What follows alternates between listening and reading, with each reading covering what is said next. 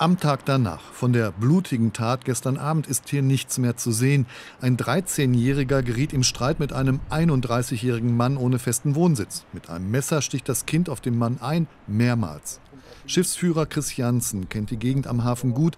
Kinder und Jugendliche treffen sich oft am Hafen, erklärt er. Es ist ein beliebter Treffpunkt. Die Tat gestern beschäftigt ihn. Es ist doch sehr, sehr erschreckend, wie, wie Gewalt, ich sag mal, normal geworden ist gerade unter, den, unter den Jugendlichen, fast noch Kindern, wenn ich so dann denke, wie ich aufgewachsen bin, alles komplett anders, hat sich alles geändert.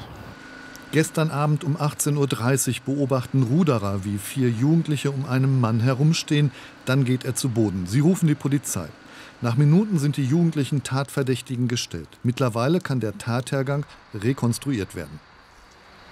Der Obdachlose war gestern im Dortmunder Hafen unterwegs äh, und äh, er ist dann auf eine Personengruppe um das 13-jährige Kind getroffen. Da waren noch Freunde dabei, auch ein Kind und zwei Jugendliche, sehr jung, 14 und 15.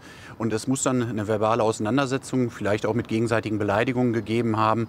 Und das hat den 13-Jährigen dann wohl veranlasst, mit seinem Messer auf den Obdachlosen einzustechen. Weitere Details werden bekannt. So wird der 31-Jährige nach dem Messerstechen ins Hafenbecken gestoßen. Mit Mühe kann er sich wieder über eine Leiter nach oben retten. Dann stirbt er. Kinder, also unter 14 Jahren, können nicht strafrechtlich belangt werden. Und im Moment gehen wir auch nicht davon aus, dass die Jugendlichen an der Tat beteiligt waren.